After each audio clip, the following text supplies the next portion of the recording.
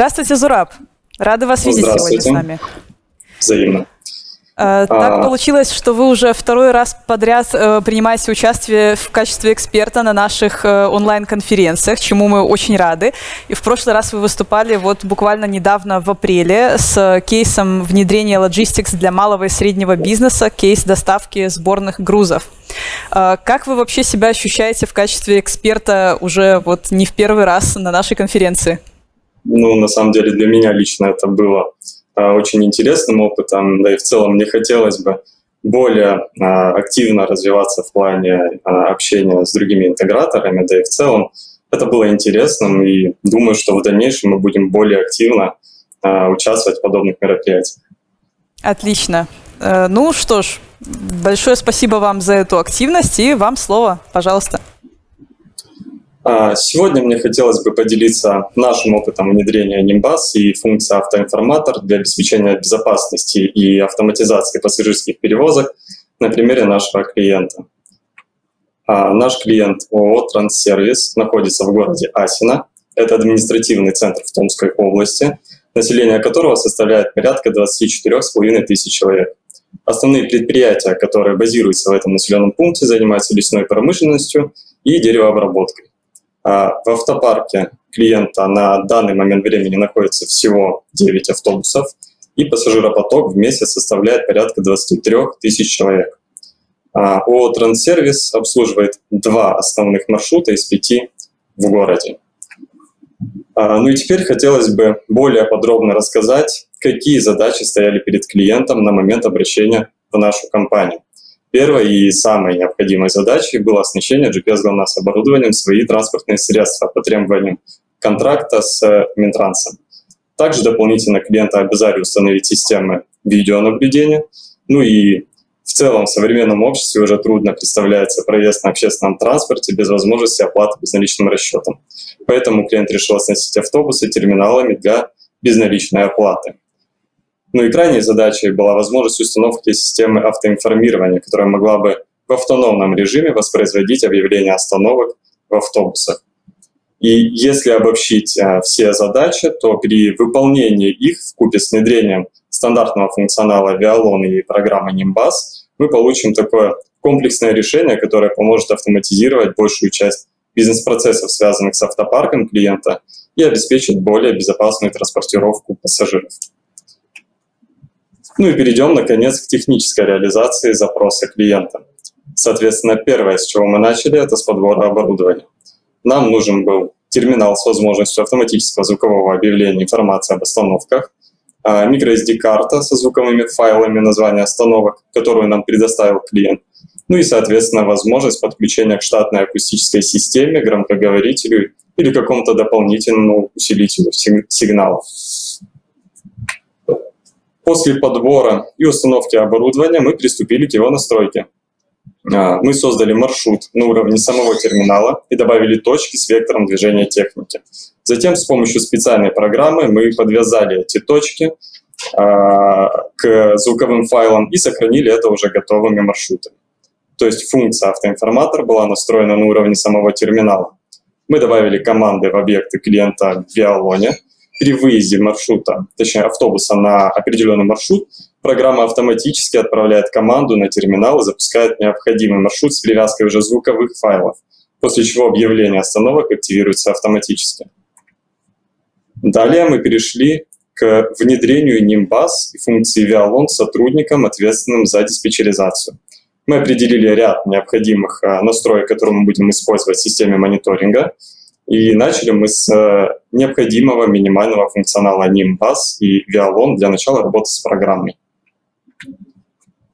Пока наши инженеры э, настраивали оборудование и создавали маршруты в конфигураторе терминалов вместе с водителями, мы параллельно вместе с ответственным за мониторинг э, в компании настраивали учетную запись программы Nimbus, то есть совместно с клиентом мы добавили остановки, маршруты рейсы в программу и создали геозоны маршрутов Виалон. Также при создании маршрутов и рейсов в Nimbus мы воспользовались автоназначением объекта на маршрут и рейс, что значительно облегчало работу ответственного диспетчера. Следующим этапом мы приступили к настройке учетной записи уже в Vialon. А, мы добавили индивидуальные шаблоны отчетов по запросу клиента и настроили необходимые уведомления. Список их вы можете, в принципе, увидеть на слайде презентации. А, первое уведомление – это въезд-выезд на маршрут, который работает на стандартном уведомлении геозона Vialon. Сами геозоны маршрутов мы создавали не от депо, а от первой остановки для корректной работы уведомления – также добавили уведомления о превышении скорости на маршруте с ограничением его работы как а, по времени, так и по геозоне. И, наконец, настроили уведомления о тревоге. Это была еще одна просьба нашего клиента а, уже в процессе настройки программы.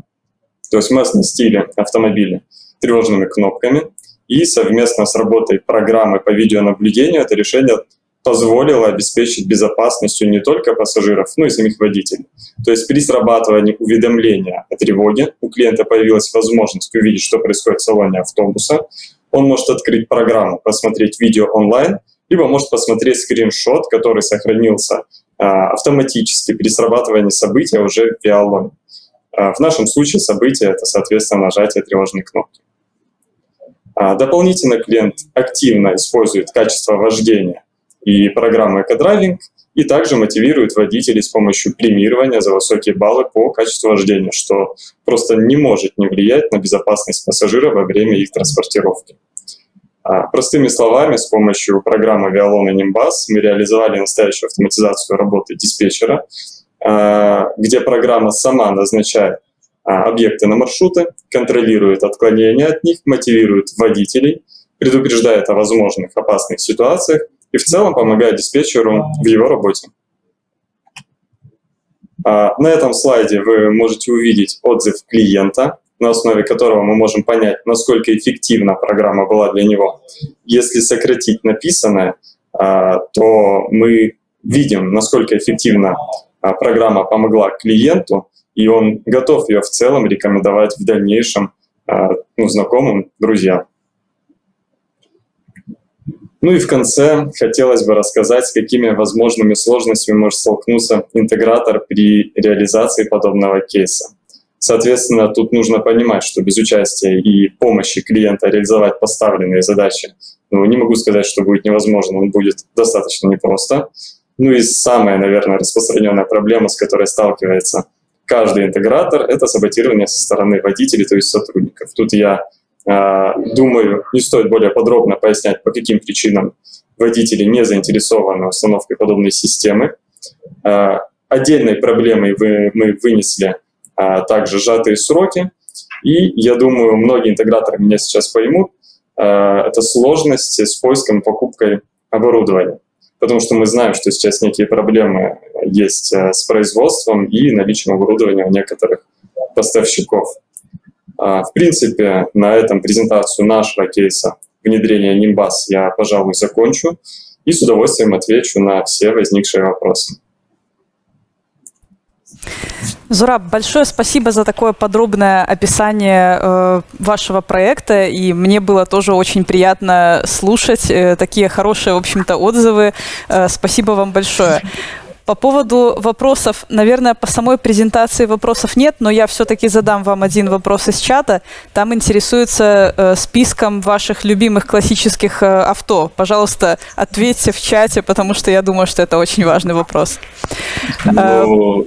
Денис Катуков интересовался, да, вы можете ему ответить. На, прошлом, а, на, на прошлом нашем вебинаре мне задали подобный вопрос. Почему-то я предполагаю, что, скорее всего, это один и тот же человек. Возможно. А, взяли эту информацию да, с нашего сайта. Ну, я так скажу. А, список моих любимых авто по идее и задумке я должен был предоставить нашему клиенту, который обратился к нам на сайт. Вот, соответственно, если а, данный человек оставит свое обращение, я ему вышлю с удовольствием список автомобилей. Отлично. Большое спасибо за такой ответ. А, по проекту, если вдруг еще вопросы будут, то я думаю, наши комментаторы могут их оставить в чате. Большое вам спасибо еще раз, что нашли время присоединиться к нам и поделились э, своим опытом. До новых встреч. Спасибо вам. До свидания.